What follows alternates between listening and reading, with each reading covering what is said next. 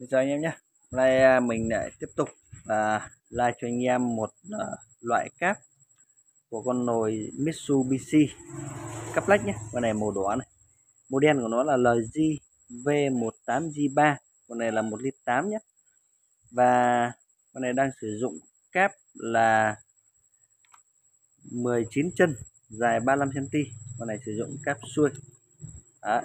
thì bên mình đang uh, tiến hành uh, combo là 10 sợi là 160k nhé. Bao ship anh em nào mà có nhu cầu uh, mua cáp hay là sửa chữa thì có thể liên hệ số điện thoại là 0355 448 274 nhé. Anh em tiếp tục lên uh, mẫu cáp của nồi ờ, uh, Mitsu cho anh em. Anh em nào cần thì uh, liên hệ. Còn anh em nào sửa chữa thì uh, gửi về địa lệnh thương thuyết thôn của Dũng xã Đông La huyện Đông Hưng tỉnh Thái Bình đây là chỗ này của khách ở bên à, Thái Thụy nhé cũng ở Thái Bình mình thôi.